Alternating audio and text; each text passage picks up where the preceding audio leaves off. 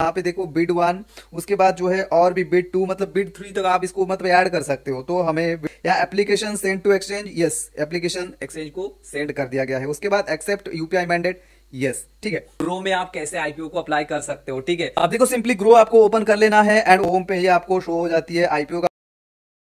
सो so, इस, वाले video में मैं आपको लाइव अप्लाई करके दिखाऊँगा आईपीओ आईपीओ आपको कैसे अप्लाई करनी है? वैसे मैं आपको दो एप्लीकेशन में दिखाऊँगा। एक तो एप स्टॉक दूसरा ग्रो ठीक है? तो दोनों ही एप्लीकेशन में मैं अप्लाई करके अभी आपको दिखाऊँगा। एंड की वरी एनर्जी का आईपीओ अभी करंटली चल रहा है जो मैं आपको अप्लाई करके दिखाऊँगा अभी ठीक है? वरी एनर्जी का आईपीओ हंड्रेड परसेंट जीएमपी चल रहा है अभी तो आप मस्त अप्लाई कर सकते हो उसमें। एंड बहुत बढ़िया मतलब एक आईपीओ है जो कि दो दिन में आपके पैसे डबल कर सकते हैं। जी हाँ बजाज हाउसिंग फाइनेंस जैसा। सो सिंपली सबसे पहले आपको एप स्टॉक को ओपन कर लेना है देख सकते हो। सबसे पहले एप स्टॉक में दिखाता हूँ, उसके बाद में ग्रो में दिखाऊँगा। देखो, आप में से मेरे भाई, जिसको भी मतलब पता नहीं है कैसे अप्लाई करते हैं आईपीओ देखो, जो लोग इस वाले वीडियो को देख रहे हो, वो तो देख ही रहे हैं, लेकिन जो लोग नहीं देख रहे हैं, उनको पता नहीं है, आपके फ्रेंड है तो आप इसे शेयर कर सकते हो वीडियो को, ठीक है? तो यहाँ देखो सिंपली जो है एप स्टॉक को सबसे पहले ओपन कर लेना है। ओपन करने के बाद आपको डिस्कवर वाले मेनू में आना पड़ेगा, ठीक है? तो यहाँ पे डिस्कवर पे आ जाऊँगा। डिस्कवर पे आने के बाद आपको ना आईपीओ का यहाँ पे एक ऑप्शन मिलेगा तो उस पर सिंपली टैप कर देना है। टैप करने के बाद ना यहाँ पे आपके सामने जितने भी आईपीओ अभी के टाइम में करेंटली जो ओपन है ना, वो सारे के सारे यहाँ पे शो कर देंगे। साथ साथ जो आया नहीं अभी तक, ठीक है? जो अभी तक जो आईपीओ आया नहीं ना, वो भी शो कर देगा। देख सकते हो, एक ही आईपीओ अभी प्री अप्लाई के लिए आ रहा है, जो कि गोदावरी बायो रिफाइनरी आईपीओ है। ठीक है, अब इसके ऊपर अगर आप वीडियो देखना चाहते हो तो डिटेल वीडियो मैंने बना दिया है, लिंक डिस्क्रिप्शन में एंड एंड स्क्रीन पे मिल जाएगा, आप जाके चेकआउट कर लेना। तो सिंपली देखो, वरी एनर्जी की बात कर रहा हूँ, वरी एनर्जी हंड्रेड जीएमपी के साथ चल रहा है। ऑलरेडी मैं इसको अप्लाई कर भी चुका हूँ एंड तब मैंने रिकॉर्ड भी नहीं किया, ठीक है। लेकिन अभी मैं आपको ना दूसरे में दिखाता हूँ, इसको अभी अप्लाई करके दिखा देता हूँ।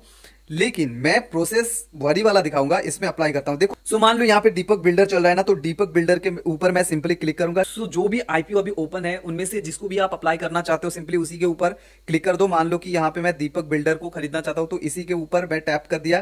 टैप करने के बाद अभी अप्लाई का लिंक आपके सामने आएगा मतलब अप्लाई का ऑप्शन आएगा। अप्लाई के ऑप्शन पे आपको सिंपली क्लिक कर देना है।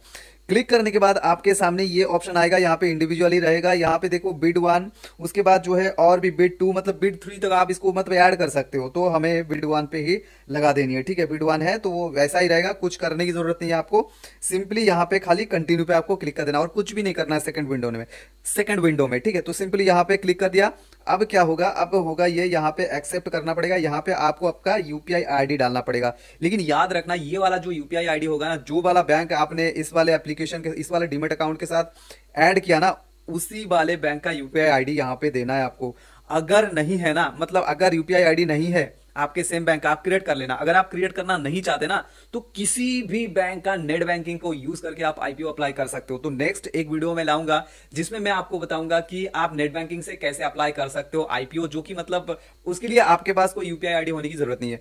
तो सिंपली यहाँ पे यूपीआई आईडी डालो, उसके बाद आपको कंटिन्यू कर देना है। अब कंटिन्यू करने के बाद ना, कुछ इस तरीके का इंटरफेस आपके सामने शो हो जाएगा। देख सकते हो यहाँ पे एप्लीकेशन नंबर वगैरह सब कुछ यहाँ पे ये मतलब स्टेटस पे आ जाएगा। अब देखो, ये जो मैं दिखा रहा हूँ ना, ये वरी एनर्जी वाला है, क्योंकि वरी एनर्जी को मैं ऑलरेडी अप्लाई कर चुका हूँ, ठीक है? तो यहाँ पे इस टाइप का सेम आएगा। उसके बाद क्या होगा? आपने जो वाला यूपीआई आईडी डाला ना, उसी वाले एप्लीकेशन पे जाएगा एक नोटिफिकेशन अब नोटिफिकेशन कैसे जाएगा, वो मैं आपको बता दे रहा हूँ। देखो, मैंने अपना जो गूगल पे है ना, उसका यूपीआई आईडी यूज़ किया था तो यहाँ पे आप देख सकते हो, यहाँ पे आपको गूगल पे खोलना है। खोलने के बाद जो है यहाँ बिज़नेस बिज़नेस लिखा हुआ है ना तो बिज़नेस वाले पे आपको क्लिक करना है। बिज़नेस वाले पे क्लिक करने के बाद यहाँ पे बहुत सारे बिज़नेस पे मैंने किए हैं ना। तो यहाँ पे देखो सबसे ऊपर वरी एनर्जीज का शो कर रहा है। तो उसके ऊपर आपको टैप करनी है।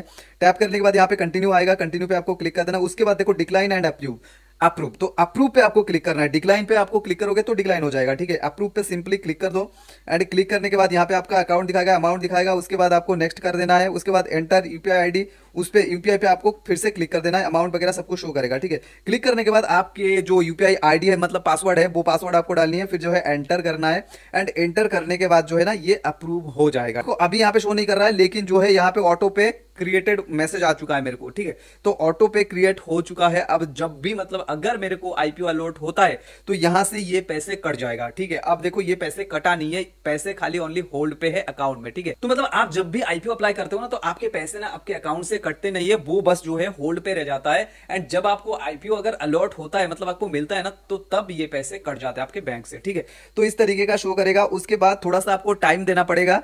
टाइम देने के बाद जो है, आप फिर से ओपन करोगे, रिफ्रेश करके।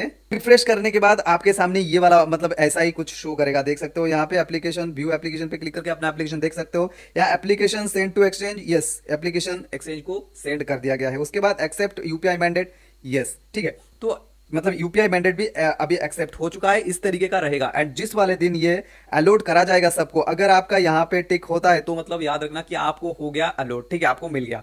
अगर ये नहीं होगा ना तो मतलब समझ लेना, आपको पैसे रिटर्न आ जाएगा, ठीक है? वैसे मिलना बहुत कठिन है एंड भाई रिटेलर से अगर आप अप्लाई करोगे तो मिलना बहुत ही ज़्यादा कठिन है, ठीक है? अब देखो, मैंने भी रिटेलर कैटेगरी से वरी एनर्जी वाला अप्लाई किया है, लेकिन मिलेगा कि नहीं, वो तो डाउट पे है मतलब 99 चांस नहीं है, ठीक है? उसके बाद एक का चांस है कि मिल सकता है। अब देखो स्मॉल एच से अगर मैं करता, देखो, मेरे पास पैसे नहीं है भाई, इसके लिए मैंने करा नहीं नहीं तो मैं उसी को मतलब लगा के करता, ठीक है? उसी वाले कैटेगरी से करते तो अच्छा रहता है, ठीक है? सो भाई, इस तरीके से आप अप्लाई कर सकते हो आईपीओ किसी भी आईपीओ को ऐप स्टॉक में। अब चलो मैं आपको बता देता हूँ कि ग्रो में आप कैसे आईपीओ को अप्लाई कर सकते हो, ठीक है? अब देखो सिंपली ग्रो आपको ओपन कर लेना है एंड ओपन करने के बाद यहाँ ही मतलब होम पे ही आपको शो हो जाती है आईपीओ का ऑप्शन देख सकते हो। आईपीओ पे आपको सिंपली क्लिक कर देना है एंड क्लिक करने के बाद यहाँ ही जो वाला आईपीओ ओपन रहेगा, वो सारा कुछ यहाँ पे शो कर देगा। तो यहाँ पे सिंपली जो भी आपको अप्लाई करना है ना, उसके बगल में यहाँ पे आप देख सकते हो अप्लाई लिखा हुआ है तो सिंपली अप्लाई पे आपको क्लिक कर देना है एंड क्लिक करने के बाद जो है यहाँ आप देख सकते हो नाइन आपके शेयर नंबर पे नाइन क्योंकि एक लॉट में नाइन शेयर आता है, ठीक है? एंड पैसे कितने आपको देने पड़ेंगे वो सारा कुछ आ चुका है। आपको सिंपली क्या करना है? सिंपली यहाँ पे अप्लाई पे क्लिक कर देना है, ठीक है? अप्लाई पे मैंने क्लिक कर दिया। अब जो है यहाँ पे रिक्वेस्ट जो है आपको चला जाएगा। जिस जो यूपीआई आप डालोगे, उस पर चला जाएगा ना तो ग्रो में आपको यूपीआई आईडी डालने की ज़रूरत नहीं पड़ती, क्योंकि जब अगर आपने कभी भी ग्रो में पैसे ऐड किए यूपीआई आईडी का इस्तेमाल करके ना तो वो वाला यहाँ पे सेव होके रहता है। उसके बाद क्या होता है? आप मतलब ऐसे ही कर दोगे तो आपको यूपीआई आईडी डालना नहीं पड़ेगा। सीधा यहाँ पे देख सकते हो रिक्वेस्ट जा चुका है। रिक्वेस्ट जाने के बाद सीधा आपके उस वाले एप्लीकेशन में जाएगा, जो भी आप यूज़ कर रहे हो। अब देखो, मैं यहाँ पे अप्लाई ये वारी एनर्जी को यहाँ पे मैं अप्लाई नहीं करने वाला। क्यों? क्योंकि मैं ऑलरेडी अप्लाई कर चुका हूँ एंड एक ही नेम पे, एक ही पैन कार्ड पे अगर दो जगह अप्लाई करूँगा तो दोनों को ही रिजेक्ट कर देंगे, ठीक है? सो इसके लिए अगर आप सोच रहे हो कि मेरे को कैसे भी करके लेना ही आईपीओ तो उसके लिए ना चार पाँच अकाउंट से आप अप्लाई कर सकते हो। देखो, अगर आप चाहते हो कि मेरे को मिले तो इसके लिए आप तीन चार अकाउंट से अप्लाई करो, लेकिन खुद के नहीं। अपने घर में जितने सारे और बड़े बड़े लोग हैं ना, उन सभी के टाइम पे डिमेट अकाउंट ओपन करो एंड सभी के अकाउंट से अप्लाई कर सकते हो एंड मिलने के चांसेस ज़्यादा हो जाते हैं। सेम का सेम आपको क्या करनी है? यहाँ पे रिक्वेस्ट जा चुका है, उस वाले एप्लीकेशन को आपको ओपन करना है मैंडेट जैसे मैं अभी दिया ना सेम उसी टाइप का जो है आपको फिर से दे देना है, वही पे जाके मैंडेट एंड मैंडेट दोगे मतलब वो अप्रूव करोगे अप्रूव हो जाएगा, उसके बाद जो है यहाँ पे शो करेगा स्टेटस कि मतलब आपको अलॉट होगा बोल के, ठीक है? तो इस तरीके से यहाँ पे भी किया जाता है, ठीक है? आई होप आपको समझ आ गया होगा कि यूपीआई आईडी से कैसे हम जो है आईपीओ अप्लाई कर सकते हैं। प्रोसेस बिल्कुल और बिल्कुल बहुत ही छोटा सा प्रोसेस है, लेकिन एक बात बता दूँ कि हर आईपीओ में आप अप्लाई मत करना क्योंकि पैसे डूब भी सकता है, ठीक है? तो इसके लिए आपको रिसर्च करना पड़ता है। तो रिसर्च करके हम जो वीडियो लाते हैं चैनल पे तो हमारे चैनल को सब्सक्राइब करके रख सकते हो। और कोई भी क्वेरीज हो, कुछ भी होना आप सीधा इंस्टाग्राम पे पूछ सकते हो। इंस्टाग्राम का लिंक डिस्क्रिप्शन में एंड भाई, अगर आपने अभी तक डीमेट अकाउंट ही ओपन नहीं किया तो लिंक डिस्क्रिप्शन में दे दिया है एपस्टॉक शैम्पू का। साइन अप करो एंड सभी के नेम पे साइन अप करो एंड उसके बाद आप आईपीओ अप्लाई कर सकते हो।